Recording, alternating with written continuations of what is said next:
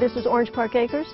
We moved here about 30 years ago. I grew up in uh, Westminster, and that was quite a while ago. Uh, there were dirt roads and dairies and bean farms, and my dad always did gardening, so I followed him around. And so I've been gardening ever since. And we had chickens in the yard and ducks, so I've always had chickens in the yard. My daughter lives next door with two grandkids, and just two blocks away, my son with two grandkids. So we're always sharing, and I, they come over here and help me harvest. They're learning so much, and probably I didn't realize it until later in life because I've just done what my parents have done. Following my dad around, and he always had a compost going, so I was doing things not on purpose.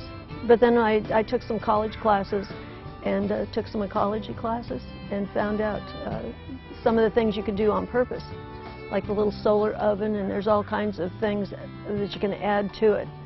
The hottest I've had it is 350, and I've taken it to the desert and put beans in it, to, like baked beans, to cook slow all day, and then um, here in the backyard I'm going to have the kids pick some herbs. I've got uh, mint, and I've got water that's been in there heating up, and then we're going to add the two together and make a little tea out of it. And I also have from, a, I rescued some bees and they gave me a bunch of, a huge amount of limes, gorgeous limes. So we're going to put limes and uh, mint in our tea.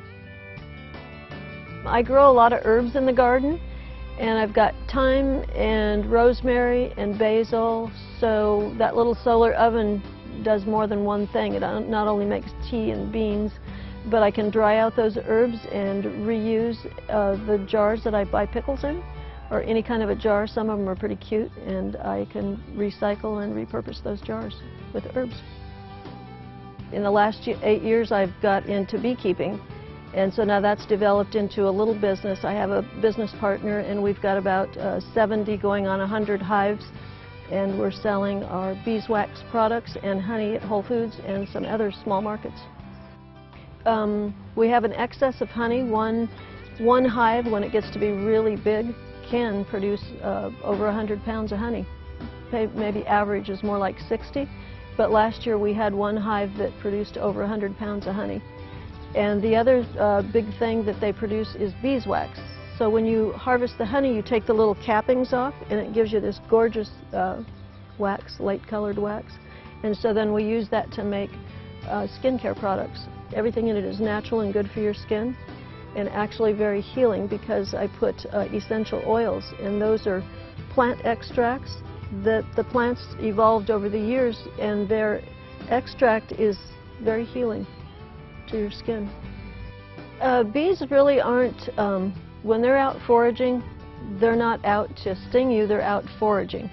Um, so if you don't swat them, and I know that's a hard thing not to do, when you start keeping bees, you get used to it. So they can actually land on you, or I can pick up a bee that's on the ground, and it won't sting me.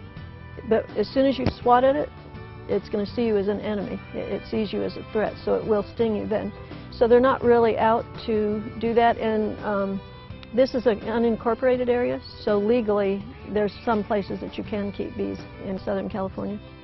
The sustainable part is that we do compost. So when you pick a group of chard, then there's a lot of leaves that you don't want to eat. So I give them to the chickens.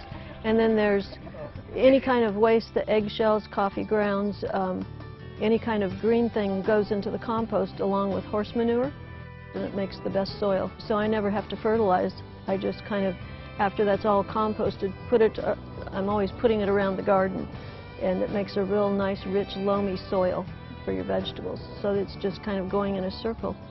I try and recycle everything, but um, I think my message would be to future generations, you always need to remember the simple aspects of life because I think they're very important.